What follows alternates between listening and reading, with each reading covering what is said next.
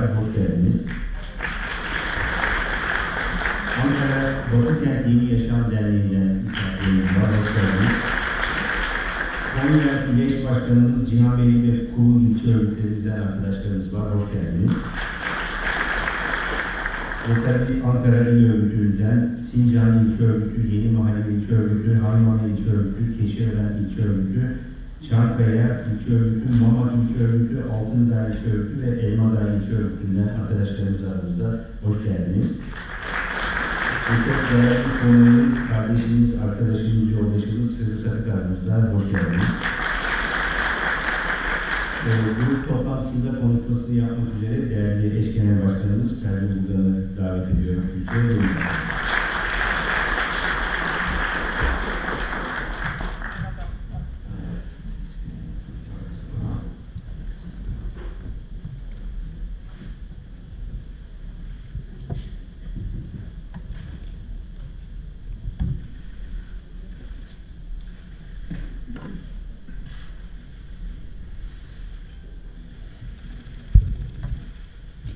Değerli konuklar, çok değerli milletvekili arkadaşlarım, sevgili eş genel başkanım. Bugün grup toplantımızı izlemeye gelen Konya ve Ankara il örgütümüzden, ilçe örgütlerimizden gelen sevgili misafirlerimiz ve ekranları başında bizleri izleyen değerli halkımız, basının değerli emekçileri, hepiniz grup toplantımıza hoş geldiniz, sefalar getirdiniz.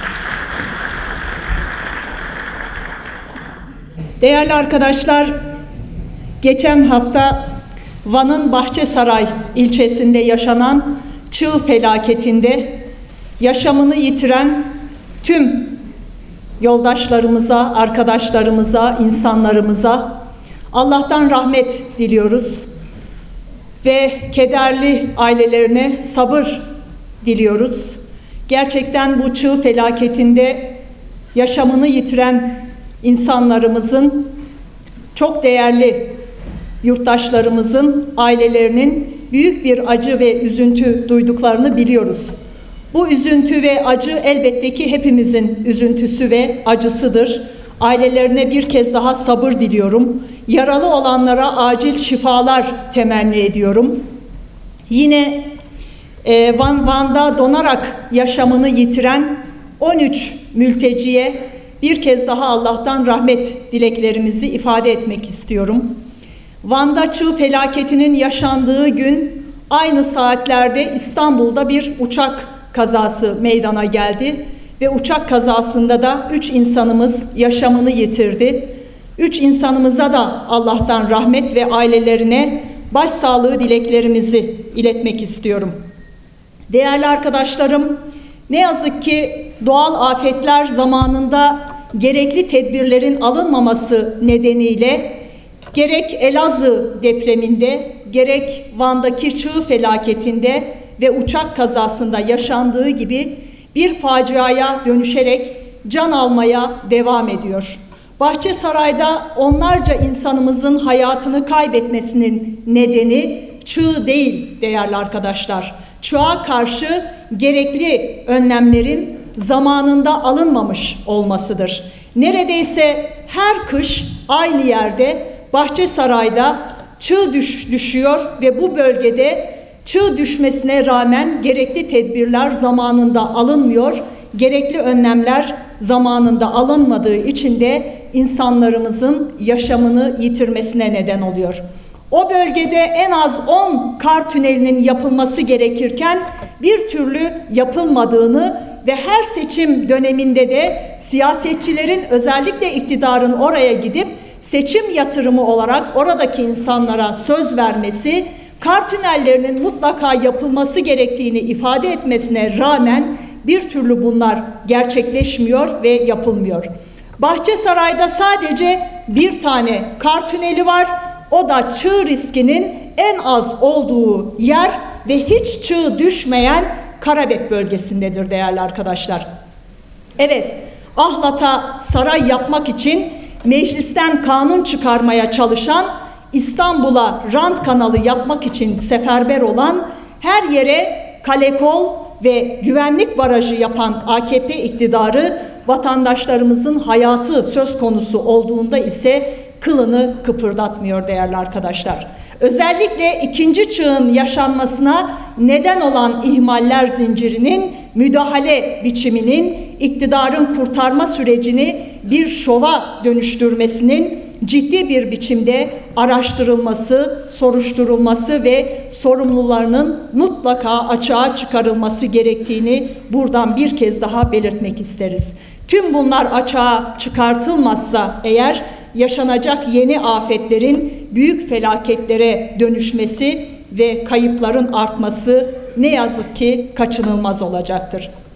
Elazığ depreminde insanlar enkaz altındayken algı yaratmaya çalışan iktidarın insani değerlerle örtüşmeyen aynı tutum ve yaklaşımlarını Bahçesaray'daki çığ felaketinde bir kez daha gördük ve bu esnada buna bir kez daha tanık olduk değerli arkadaşlar.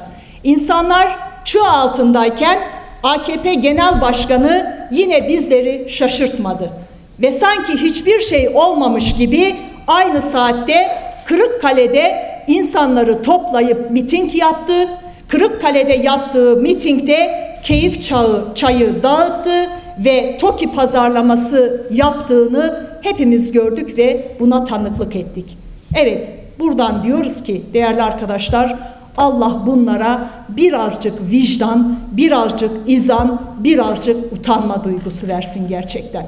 Bahçesaray'da insanlar ölümle pençeleşirken, çığ altında kalmış yaşama tutunmaya çalışırken AKP Genel Başkanı Kırıkkale'de insanlara çay dağıtıp TOKİ pazarlaması yapıyor ya. İnsanlar biraz utanır, utanır. İnsanda biraz utanma duygusu olur. Bahçesaray halkı bunu hak etmedi. Türkiye halkları bunu hak etmiyor. Kürtler bunu hak etmiyor değerli arkadaşlar. Bir can pazarının yaşandığı yerde bu ülke, ülkenin iktidarında olan, bu ülkeyi yöneten Cumhurbaşkanı, AKP Genel Başkanı böyle bir hadsizlikle bir miting yapacak kadar vicdansızlaşıyor.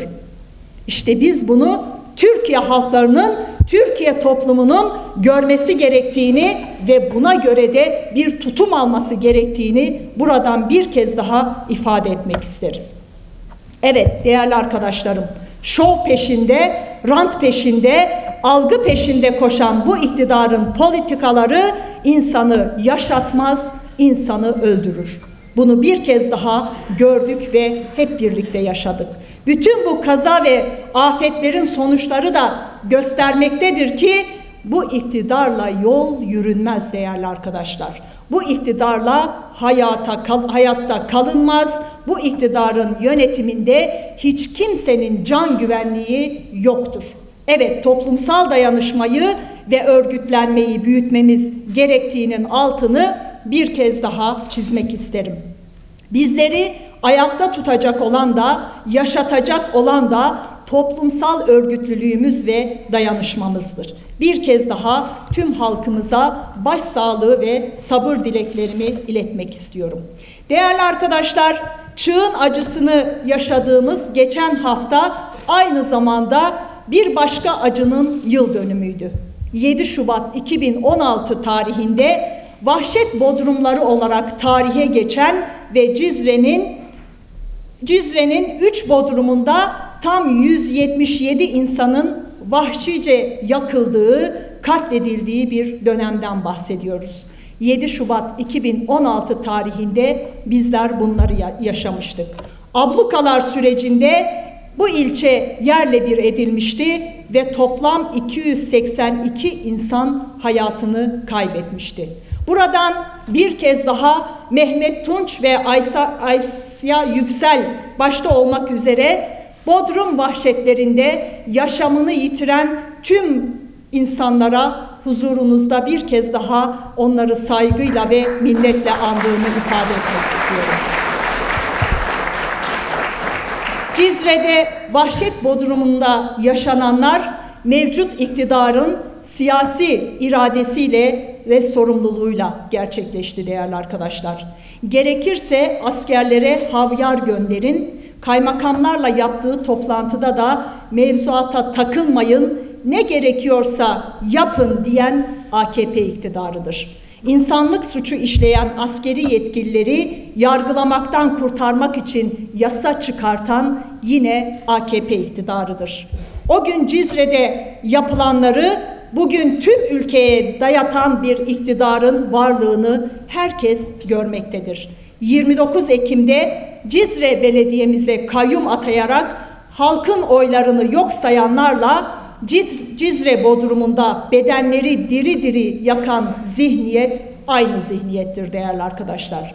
Cizre vahşetinin sorumlularıyla Roboski'de 34 köylüyü uçaklarla katledenler aynılarıdır değerli arkadaşlar, aynı iktidardır. Bunların hepsi Ankara'daki karanlık dehlizlerinde beraber iş tutanlar, Kürt düşmanlığında ittifak kuranlardır. Bunları gayet iyi biliyor ve tanıyoruz. Halkımız da bunları iyi biliyor ve iyi tanıyor.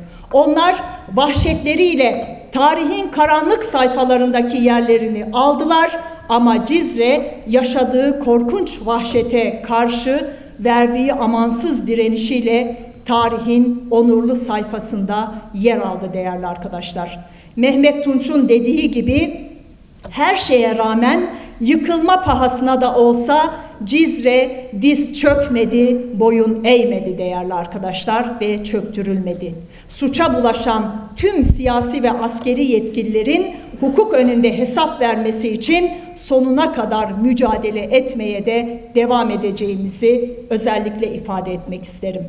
Değerli arkadaşlarım, Cizre vahşetinin sahipleri bugün gezi direnişini yargılamaya çalışıyor.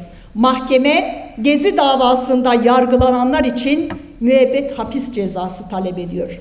Ali İsmailleri, Berkinleri, Etemleri, Abdullahları katledenlere ceza vereceklerine suçsuz insanlara ceza vermeye çalışıyorlar ve bunu istiyorlar. Gezi ezilen yoksul halkların demokratik bir direnişiydi. Toplumun adalet ve özgürlük talebiydi. Demokrasi tarihinin yüz akıydı değerli arkadaşlar. Hakkari ile Edirne'nin buluştuğu yerdi. Cizre'den İzmir'e kurulan bir köprü olmuştu Gezi. Evet bugün yargılamaya çalıştıkları aslında halklardır. Türkiye'nin demokratik toplumsal muhalefetidir. İşte Gezi davasıyla halklar arası köprüyü de yıkmaya çalıştıklarını bir kez daha görüyoruz. Yan yana gelişimizden korkuyorlar değerli arkadaşlar. Bunlar bizden korkuyorlar. Türkiye toplumundan korkuyorlar. Türkiye halklarından korkuyorlar. Barışı isteyenden, demokrasiyi talep edenden, özgürlükleri haykırandan korkuyorlar. Bütün bunları sosyal medyada ifade edenlerden de korkuyorlar. Evet Erdoğan'ın dün sosyal medya tam bir çöplük.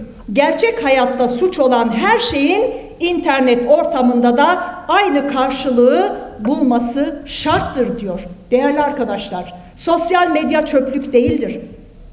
Kirlilikten eğer söz edilecekse AKP ve saray trollerinin yarattığı çöplüklerden bahsedilmelidir. Çöplüğü yaratan sizin trollerinizdir. Tabi bir de suç olmalı diyerek sosyal medya kullanıcılarını tehdit etmekten de geri kalmadığını bir kez daha görüyoruz. Muhalif özgür basını susturdular, kapattılar. Şimdi de sosyal medyayı susturmaya çalışıyorlar, kapatmaya çalışıyorlar. Tweetler bunları fena halde korkutuyor. Bunun farkındayız değerli arkadaşlar. Sosyal medyayı susturamayacaksınız. İnsanlar özgürce düşüncelerini ifade edecek, konuşacak, ses verecek, haksızlığın karşısında duracak. Siz buna engel olamayacaksınız diyoruz. Ne yaparlarsa yapsınlar ne Gezi'nin ne de Cizre'nin ortak mücadele ruhunu, dayanışmasını asla bitiremeyecekler. Gezi'deki halk iradesini müebbet hapis cezalarıyla Kürt halkının iradesini de bodrum vahşetleriyle, kayyum darbeleriyle asla ve asla engelleyemeyecekler. Bu ülkenin tüm renkleri yan yana duracağı, barış içerisinde yaşayacağı, özgürce konuşacağı günlere mutlaka ama mutlaka kavuşacaktır. Buradan herkesi 18 Şubat'taki Gezi davası duruşmasına katılmaya, destek olmaya ve dayanışmaya çağırdığımızı da belirtmek istiyorum. Evet değerli arkadaşlar, dün Diyarbakır Büyükşehir Belediye Eş Başkanımız sevgili Selçuk Mızraklı'nın duruşması vardı ama tahliye edilmedi. Mızraklı başkanımızı yargılamaya çalışıyorlar ve yargılayamayacaklar değerli arkadaşlar. Mızraklı'yı ve hakikati yargılamaya güçleri asla ve asla yetmeyecektir. Sevgili Mızraklı her duruşmada onların hırsızlığını yüzlerine tokat gibi çarpmaya devam edecektir. Tüm halkımız Mızraklı'nın yanında olmaya devam edecektir ve sadece sevgili Mızraklı değil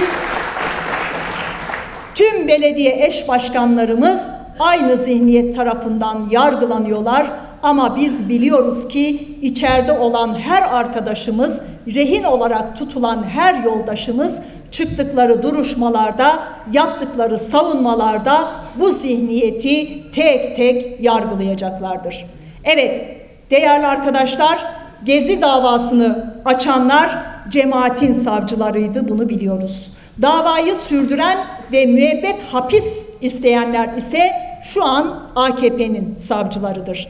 Cizre'de, Sur'da, Gever'de, Nusaybin'de şehirleri yakıp yıkanlar 15 Temmuz darbe girişiminden dolayı şu anda içerideler. Ama onlara emir veren ve yargılanmaktan kurtaran ise yine bu iktidardır. Şimdi son günlerde 15 Temmuz darbe girişiminin FETÖ'nün siyasi ayağı bir kez daha tartışılmaya başlandı. İktidar ayak oyunlarıyla siyasi ayak olduğu gerçeğini gizlemeye çalışmaktadır.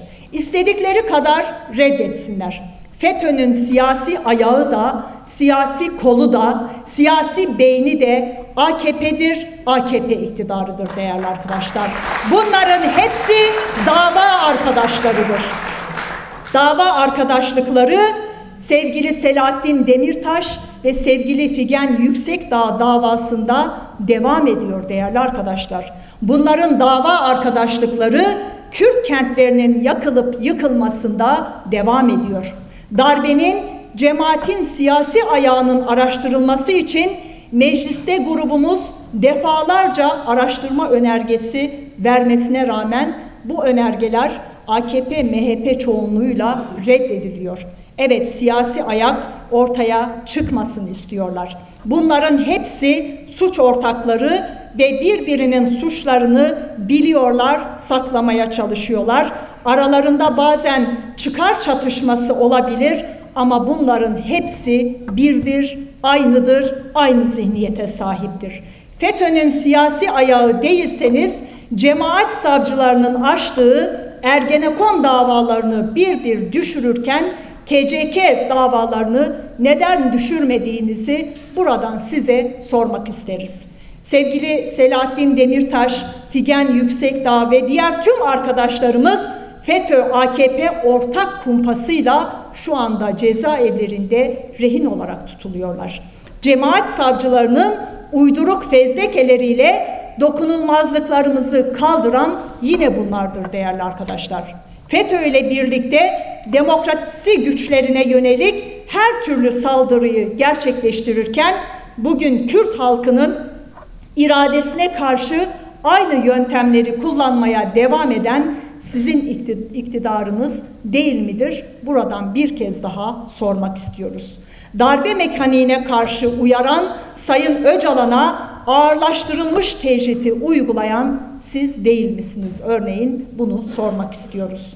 Biz sizi iyi tanıyor ve biliyoruz.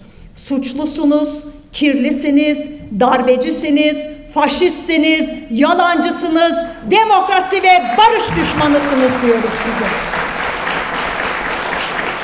Siz her şeyi birlikte yaptınız. Cemaatin işlediği her suçun altında sizin de imzanız var. Bunu biliyoruz. Hep söylüyorum. Bir kez daha buradan tekrar ediyorum. Paralel yürüdünüz bu yollarda, paralel ıslandınız yağan yağmurlarda diyoruz. Evet değerli arkadaşlar, darbelerle, krizlerle geçen bu süreçlere Türkiye'nin nasıl geldiğinin net görülmesi gerektiğini ifade etmek isterim. Evet bunun net görülmesi için 21. yılına giren Uluslararası 15 Şubat komplosunun ve İmralı'da Sayın Öcalan'a uygulanan ağırlaştırılmış mutlak tecritin doğru okunması gerektiğini ifade etmek isterim. Türkiye'nin bugün yaşadığı derin siyasi, ekonomik, sosyal krizin nedeni 21 yıldır komployla, tecritle sürdürülen çözümsüzlük siyasetidir. Evet, uluslararası komplo başarılı olamadı. Kürt sorunu ve Kürt halkının ulusal varlığı ne Türkiye'de ne de Suriye'de ne de Irak'ta tasfiye edilemedi. Aksine siyasi bilinçle ve kararlı bir biçimde sürdürdüğü demokrasi ve barış mücadelesiyle hem Orta Doğu'da hem de Türkiye'de büyük bir demokrasi ve değişim gücü oldu. 9 Ekim 1998'de Suriye'de iradesi kırılarak yalnızlaştırılmaya çalışılan Kürt halkı bugün işit karanlığına karşı mücadelenin ve özgür bir toplum inşasının öznesi haline gelerek bütün dünyada saygın bir yer aldı değerli arkadaşlar. Kürt halkının birlikte yaşadığı halklarla barış içerisinde eşitçe, özgürce yaşamdan yana olan demokratik paradigmasının dışındaki seçeneklerin çözüm olmayacağı bir kez daha kanıtlanmış durumdadır.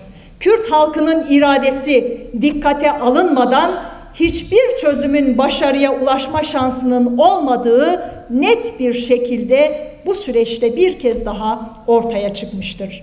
HDP fikriyatı bugün Türkiye'nin yegane çözüm seçeneği ve gücüdür değerli arkadaşlar. HDP'nin demokratik cumhuriyet hedefi bugün tüm Türkiye toplumunun temel talebi ve beklentisidir. Komplodan, çözümsüzlükten medet umanların tüm bu tarihi gerçekler gerçeklere bir kez daha dönüp bakması gerektiğini belirtmek istiyoruz. İdlib'de dün yeniden kayıp haberlerinin geldiğine hep birlikte tanıklık ettik. AKP-MHP ittifakının iktidar hesapları nedeniyle özellikle Suriye'den cenazelerin gelmeye devam etmesi hepimizi derinden üzmüş, hepimizi derinden yaralamıştır. İdlib'de hayatını kaybeden askerlere Allah'tan rahmet diliyor, ailelerine başsağlığı dileklerimizi iletiyorum. Biz Suriye tezkeresine karşı çıkarken bu sonuçları öngörmüştük. İktidarı uyarmıştık ama bizi dinlemediler ve bu bataklığın içerisinde girmeye ısrar ettiler. Kayıpların sorumlusu tezkereye evet diyenlerdir. Genel kurulda yapılan tezkere görüşmelerinde çatışmaya ve savaşa karşı çıkmayanlardır. Türkiye derhal Suriye'den elini çekmelidir. Suriye, Suriye halklarının iradesine teslim edilmelidir. Çözümsüzlüğün tüm bu coğrafyaya çok ağır bedeller ödettiği görülmesine rağmen devlet ve iktidar aklı ne yazık ki ağırlaştırılmış tecrit politikasında hala ısrar etmektedir değerli arkadaşlar. İmralı'dan başlayarak tüm toplumu, ülkeyi, demokrasiyi ve tecritle kuşatma altına çalıştıklarını görüyoruz. Sadece İmralı değil, bugün Türkiye'de herkes tecrit altındadır. Türkiye toplumu tecrit altındadır. Sayın Öcalan çözüm sürecinde gelin bu meseleyi iç dinamiklerle içeride biz çözelim demişti. Kürt sorunu, Suriye sorunu demokratik müzakereyle ve diyalogla çözülecekti. Ancak çözüm sürecinde demokrasinin önü açılmasına rağmen toplum rahat bir nefes almasına rağmen cenazeler ve gözyaşları durmasına rağmen demokratik siyaset çözüm aracı olarak toplumun umudunu arttırmasına rağmen bundan vazgeçildi ve bu süreç heba edildi değerli arkadaşlar. Eğer İmralı'nın kapısı kapatılmasaydı, kapatılmasaydı barışın ve demokrasinin kapısı açık kalacaktı ve bugün bu ülkede yaşananlar, Orta Doğu'da yaşananlar, Suriye'de yaşananlar, can kayıpları, ölümler, gözyaşılar asla olmayacaktı.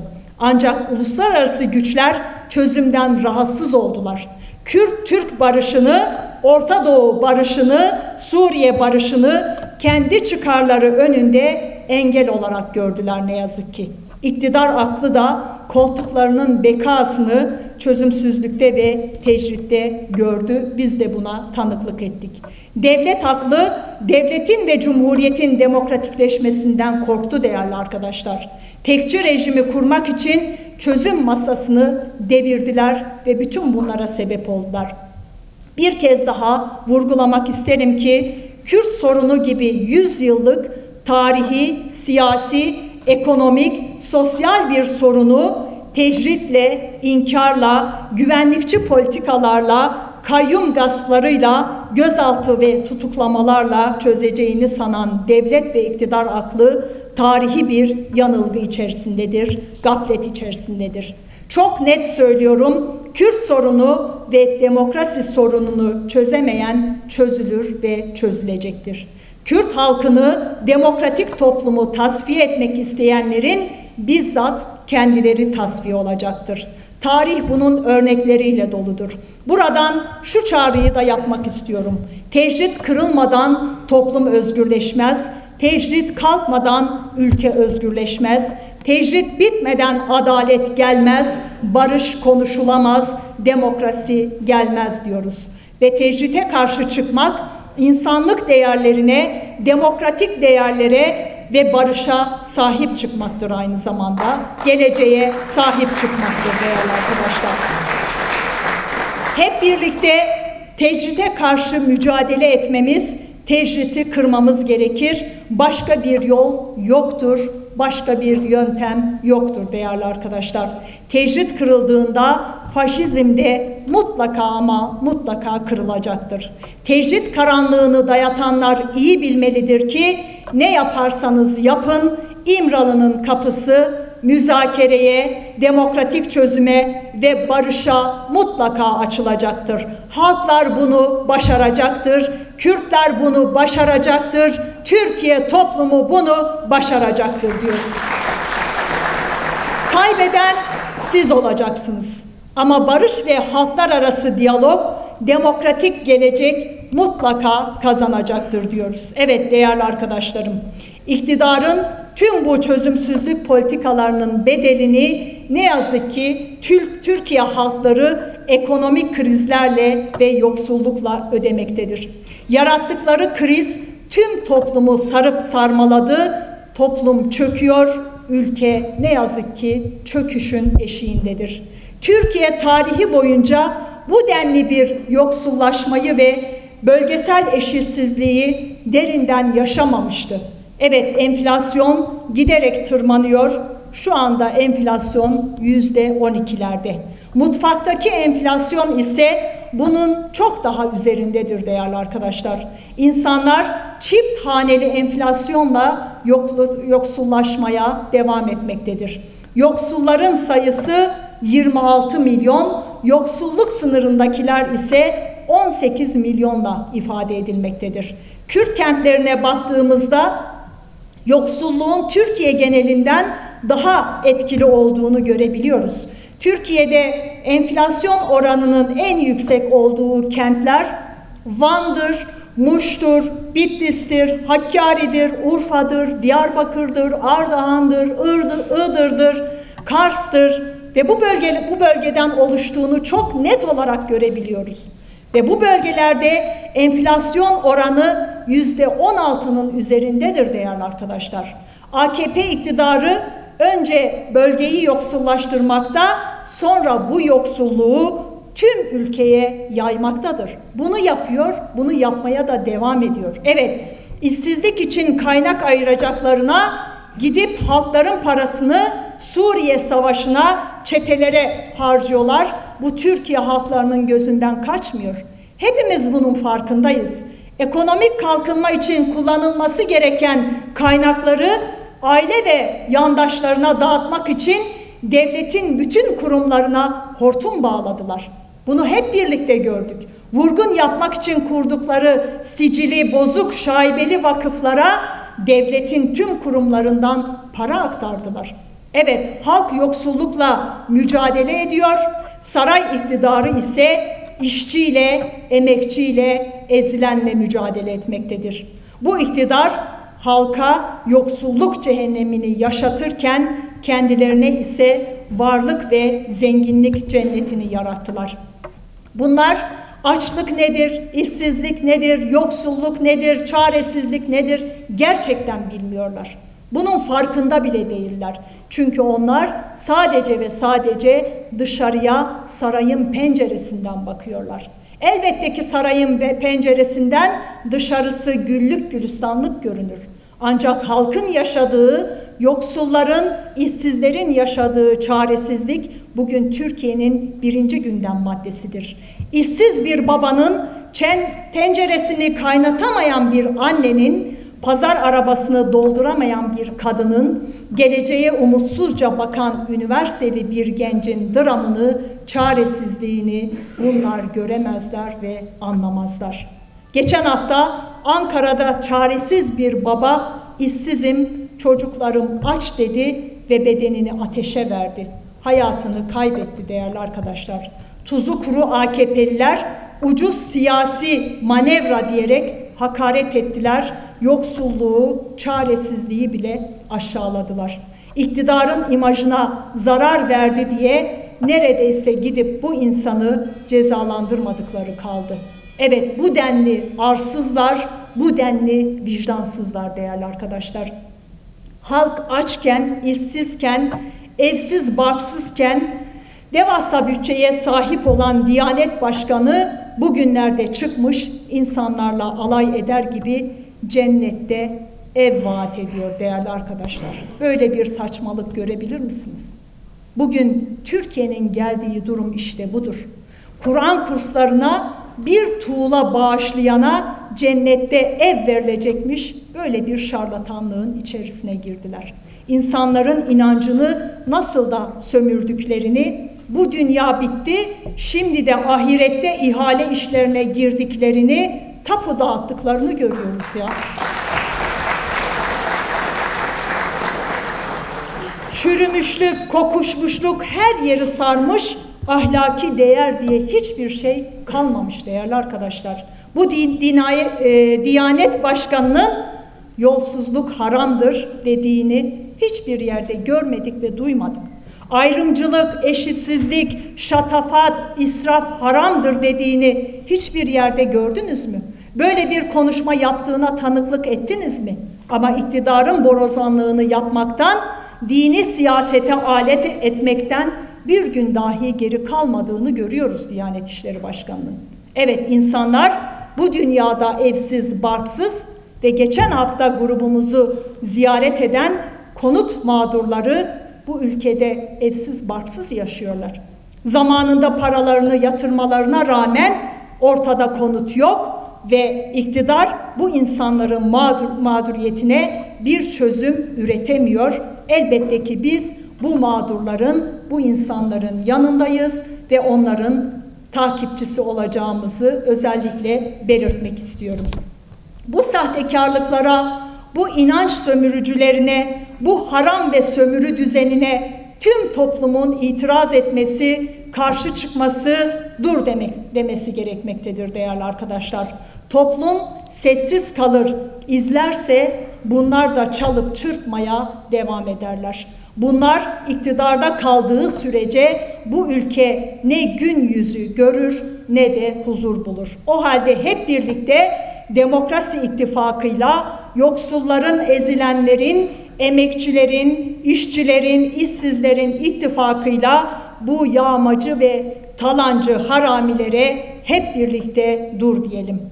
AKP iktidardan düşerse enflasyon anında düşecektir arkadaşlar. Kimsenin kuşkusu olmasın.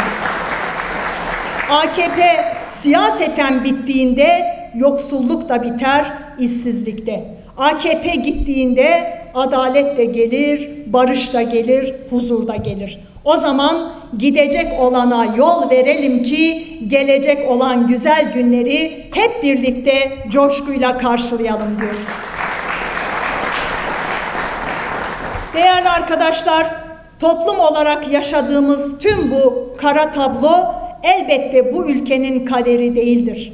Buradan kurtulmak, bu karanlıktan çıkmak zor ve imkansız da değildir. Halk çaresiz değildir. İstemeye istemeye AKP'nin politikalarıyla yaşamak zorunda da değildir. Bu tekçilerden, talancı ve yalancılardan, bu soygun düzeninden kurtulmak isteyenler, itirazı olanlar, hakça ve özgürce bir yaşam isteyenler olarak bir araya gelmek, ortak mücadele yürütmek, demokrasi ittifakında birleşmek ve iktidardan kurtulmanın yegane yol ve yöntemidir diyoruz. İşte HDP bunun adresidir. Umudu HDP ile büyütebiliriz. Değişimi HDP ile gerçekleştirebiliriz. Özgür yarınları HDP ile kurabiliriz. Adaleti ve barışı HDP ile getirebiliriz.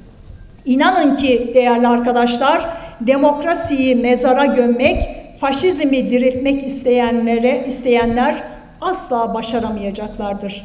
Adalet duygusunu toprağa gömmek isteyenler asla başaramayacaktır. Barış ve özgürlük umutlarını toprağa gömmek isteyenler savaşı bu topraklara hiçbir zaman egemen kılamayacaklardır. Halkların kaderini ellerine alıp istedikleri gibi oynamak isteyenler asla başaramayacaklardır. Yoksulluğu, sefaleti, sömürüyü halka dayatanlar halkı asla teslim alamayacaklardır. Halkları karşı karşıya getirmek isteyenler asla amaçlarına ulaşamayacaklardır. Kadınları eşitsizlikle, cinayetlerle susturacaklarını sananlar asla başaramayacaklardır. HDP'nin değişim gücü, HDP'nin örgütlü gücü buna izin vermeyecektir. Evet beş yıldır seçimlerde bunların barajlarını, duvarlarını Türkiye halkları olarak yıktık. 31 Mart ve 23 Haziran'da çok büyük kaybettiler değerli arkadaşlar. Kaybetmeye devam edecekler. Bu soygun düzeni, talan düzeni bitene dek durmak yok, mücadeleye devam edeceğiz. Bunlar kaybettikçe demokrasi kazanacaktır, herkes kazanacaktır. Şimdi 23 Şubat tarihinde Ankara'da dördüncü olan kongremizi büyük bir katılımla gerçekleştireceğiz. Tüm halkımızı, ezilenleri, emekçileri, kadınları, gençleri, işçileri, değişimden, demokrasiden, barıştan yana olan herkesi kongremize katılmaya ve güç vermeye çağırıyoruz. Ankara'da HDK ve HDP, Diyarbakır'da TJA, İstanbul'da 2. Türkiye Kadın Konferansı'nı gerçekleştiren kadınları kongreye damgasını vurmaya davet ediyorum değerli arkadaşlar. Konferansların coşkusu ve kararlılığı kongreye mutlaka yansıyacaktır. Kongremiz Türkiye haklarının kongresi olacaktır. Değişimin, umudun, cesaretin, aydınlığın ve özgür geleceğin kongresi olacaktır. Kongremizde öyle bir ses verelim ki savaşta ısrar edenler barışın sesini duysun. Tek adam iktidarı diyenler milyonların sesini duysun. Faşizm diyenler demokrasinin sesini duysun. Halka ölümü dayatanlar yaşamanın sesini duysun. Halkı korkutmaya çalışanlar cesaretin yükseldiğini görsün. Kadınları yok sayanlar kadınların zılgıtlarını duysun. Kimlikleri, dilleri yok sayanlar çok dilliliği, çok sesliliği duysun. Her dilden türküyü duysun, halayları görsün. Tekçiliği dayatanlar halklar bahçesini görsün. Aleviliği yok sayanlar pir sultanların sesini duysun. Kayyumlarla halk iradesini engelleyeceğini sananlar çelikleşmiş halk iradesini görsün. Öyle bir ses verelim ki Gezi'nin dayanışmasını, omuz omuza duruşunu görsünler.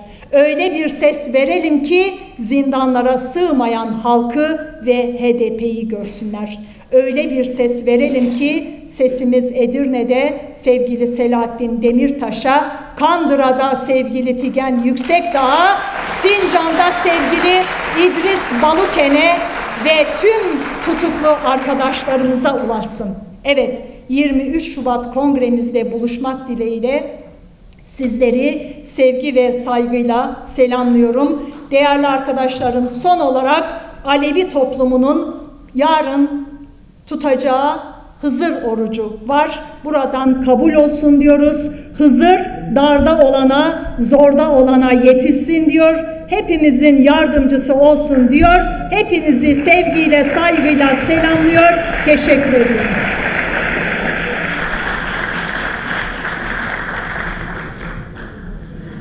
Değerli